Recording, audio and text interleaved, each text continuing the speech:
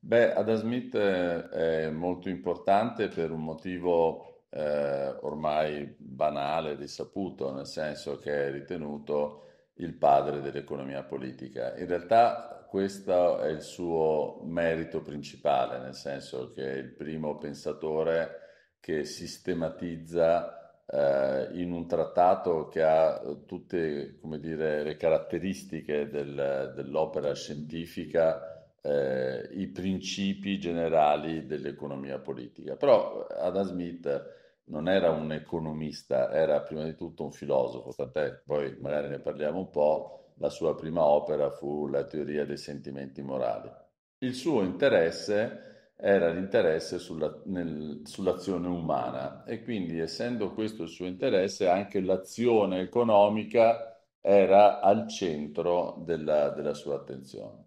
e eh, naturalmente non ha eh, avuto un, eh, un pensiero completamente originale, nel senso che eh, anche lui ha derivazioni che provengono da David Hume. David Hume pure aveva eh, scritto pagine importanti sul commercio, naturalmente è di grande derivazione aristotelica, fa parte della corrente cosiddetta dell'illuminismo scozzese però, detto ciò, nel senso che nessuno nasce in un vuoto anche dal punto di vista intellettuale, sicuramente Adam Smith è quello che per primo fa sì che si ragioni sull'economia in termini del tutto diversi da come si era ragionato fino a quel momento.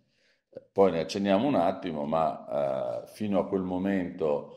si era eh, in qualche modo prigionieri della eh, teoria mercantilista per la quale l'accumulare oro era ciò che interessava alla nazione e che quindi più oro si accumulava e meglio era, mentre invece Adam Smith, e in questo preceduto da Hume, ribalta completamente questa cosa L'esempio, peraltro, storico della Spagna che aveva accumulato tanto oro e argento eh, dalle sue colonie e che però era un paese impoverito, era tipico. Ribalta questo e dice che non è l'accumulare oro la cosa importante, ma è il libero scambio in modo che ciascuno riesca a specializzarsi come meglio può. E da questa teoria del libero scambio discende poi